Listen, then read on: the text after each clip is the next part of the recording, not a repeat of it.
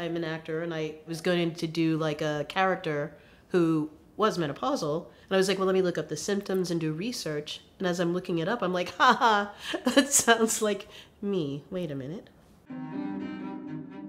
I didn't notice the menopause stuff happening. I felt like an angry person.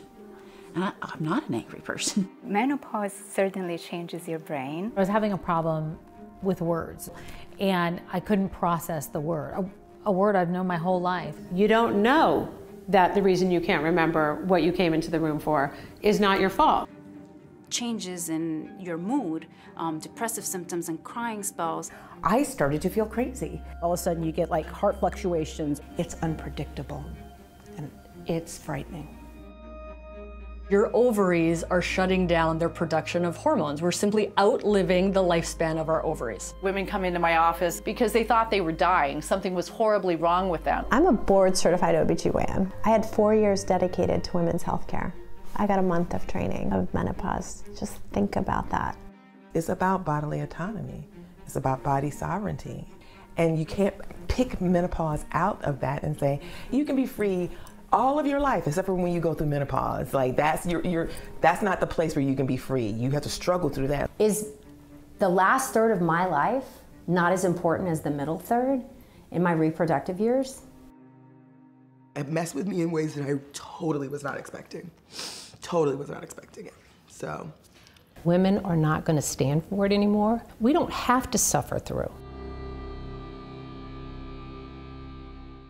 You can't separate the mouth from the rest of the body. Of course, menopause affects the mouth. We found that 84% of women had no idea that there was a link between their oral health and menopause, even though over 70% of these same women had some of the symptoms that are indicators for being in menopause. We launched this menopause survey, and we did it because I had just read, we had just done a senior oral health survey and it was so enlightening. I said, how does oral health fit into menopause? Do women know about the connection between oral health and menopause? We need to join this conversation. So let's have our next survey, do some exploring around what do women know and you know what can we bring awareness to? That is how simply this idea was born. So we do the survey and we join the conversation. The feedback to just bringing awareness to the idea that 84% of women don't know the connection, and yet most of us have these symptoms was eye opening and started to give us the opportunity to have those conversations. When the estrogen levels are fluctuating like that, the body can't balance the good and the bad bacteria, and that um, causes a, a, situation where um, you're at a high risk of periodontitis and gingivitis. And then that leads to or signs that you might find in your mouth like bleeding gums or swollen gums. And that's similar whether it's puberty, whether it's pregnancy, or menopause. For women in menopause, nearly 30% will lose a tooth within the first five years of menopause. It's so important to talk to your dentist about the signs and symptoms in your mouth and to have regular checkups meticulous home care is critical for women. We, we are on an uphill battle when it comes to our oral health. Some of the ones that most women experience are things like dry mouth, that receding gum line, um, sometimes even tooth decay or tingling tongue.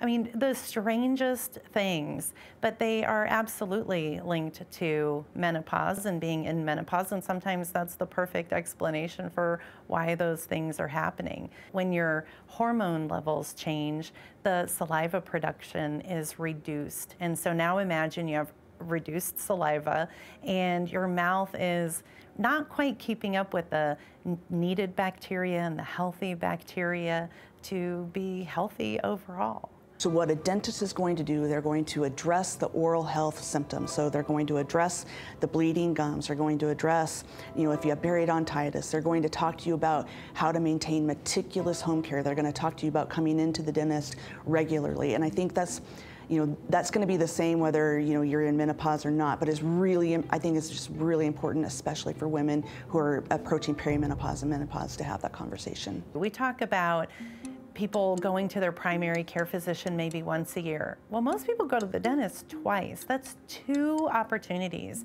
to have a health check. The other staggering statistic is only 1% of the women say they've talked to their dentist about it, and only 2% have talked to their hygienist about it. And so when you think about that visit to the dentist's office and not talking to that health provider, you're missing a big opportunity. So if you're a dentist or a dental hygienist, that's an important statistic because that means that you have a huge opportunity to start to have conversations with the female patients that are coming in to sit in your chair. But I'm somebody who, if I hear a bump in the night, I'm going to go see what it is. Um, preventative care is about going to your dentist, going to your doctor, and learning things early because the key word is early the earlier you can identify that something in your body is changing or something is new, the better chance you're going to have to partner with a community of caregivers to address whatever that is. And information and science and medical, you know, techniques and, and information, it is rapidly changing. I mean, what they can do tomorrow, they weren't able to do yesterday. And I think it's really important to be proactive and go out and seek as much information as you can about yourself. I'm so relieved to know that I'm not the only one who feels that way, but I'm also so relieved to know that this, the topic of oral health and menopause is starting to be socialized more. I think it's really important that it is becoming um, not only talked about within oral health circles, but also within um, people that are approaching menopause, that like women themselves are talking about it amongst each other. It's really important that we continue the conversation and spread the, and spread the word.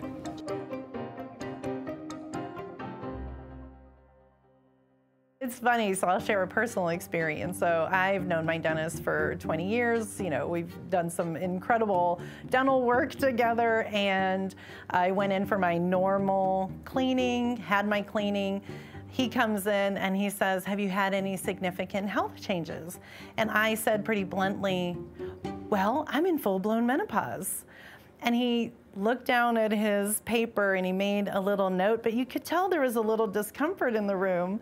And, uh, and he said, okay, well, everything looks great. We'll see you next time. And so I think, you know, I'll take that experience and imagine that given the feedback we've had to this survey, the conversation that we're having, this is not an unusual experience. Actually, menopause was never a topic that was covered in my dental school training in the mid 90s. Um, it's interesting because other endocrine issues were. I mean, certainly gingivitis as it relates to puberty and gingivitis as it relates to pregnancy.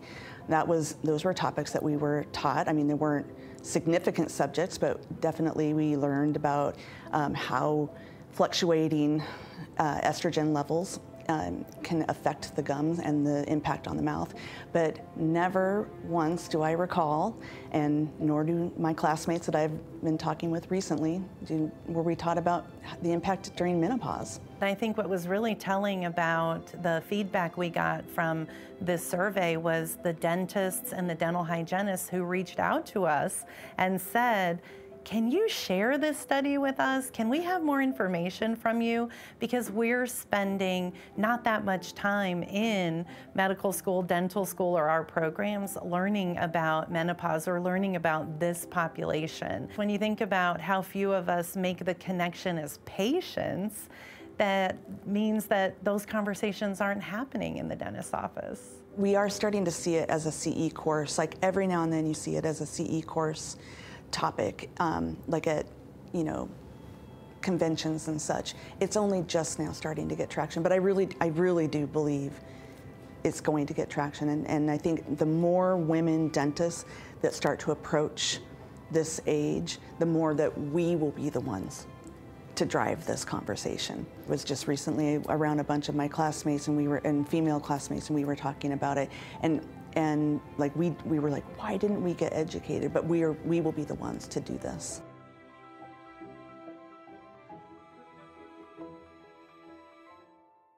think you should participate as a patient with all the information about yourself as possible and just know what's different, what's new, have I felt this before, is it explainable?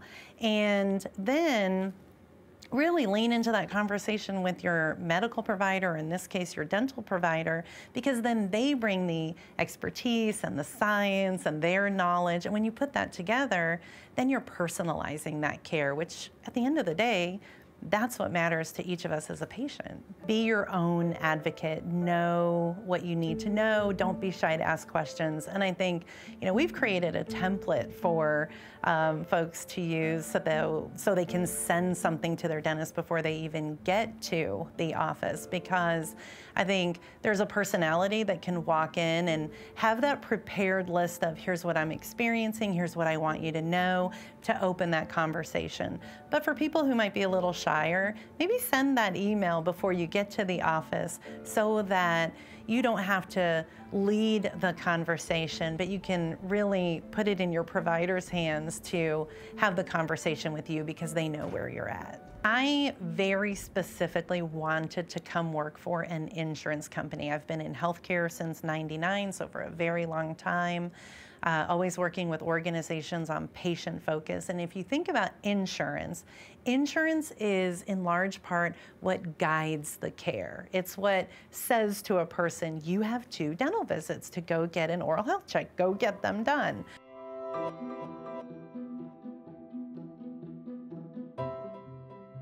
And I love the oral health side because I think it's such a great opportunity to bring awareness to oral health being a huge part of your overall health and getting that preventative care. Thinking about your visit to the dentist as more than a cleaning and more than a checkup, but really an oral health screen. You know your body. And, you know, when I turned 50, I started experiencing some things that were new for me, and it was really important for me to find a dental partner and a medical partner that was going to go on this journey with me to make sure I'm well. And whatever that included, I was game for.